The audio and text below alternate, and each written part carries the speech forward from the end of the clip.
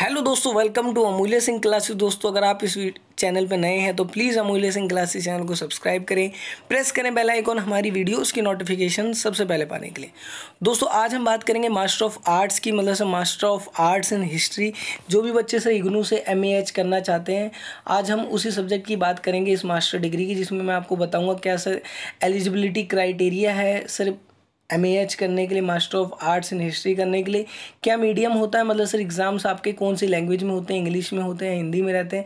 क्या ड्यूरेशन होता है बेसिकली एमएएच का और क्या फ़ीस स्ट्रक्चर होता है? इसी से रिलेटेड हम जो है, आज आप बात करेंगे। सर बेसिकली बात करें तो सर ये एक एमए की डिग्री होती है सर मतलब मास्टर की डिग्री होती है। ये बच्चे कौन करते हैं? जो बी से रिलेटेड होते हैं, जिन्हें हिस्ट्री में बहुत ज़्यादा इंटरेस्ट होता है, वो बच्चे एमएएच करते हैं।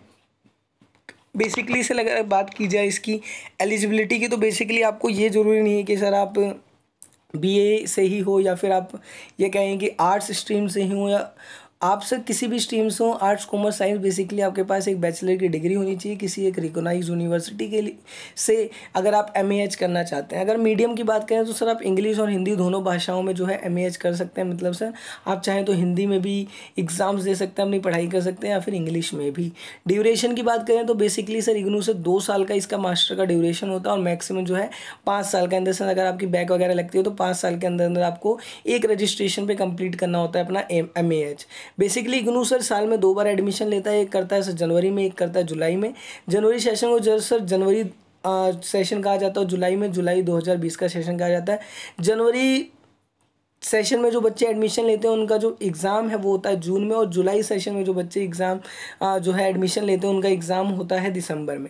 अब बात करें फ़ीस स्ट्रक्चर की तो बेसिकली सर बारह हज़ार रुपये इसकी फ़ीस होती है। ईच ईयर आपको सिक्स थाउज़ेंड रुपये पे करने होते हैं।